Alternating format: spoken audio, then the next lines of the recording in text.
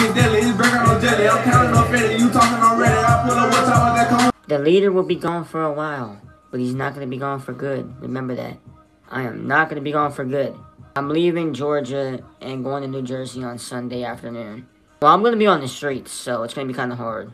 I'm just tired of people exposing my address and shit. I'm just to say fuck it, you know, leave. And start a new journey over there, and I'm probably going to be there less than a year. I'm not sure.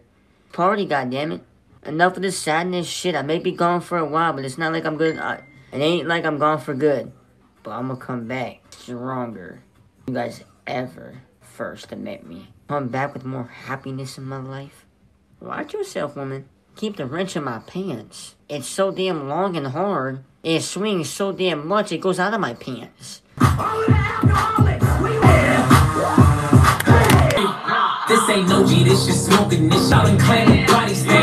I'm gonna try to get sober.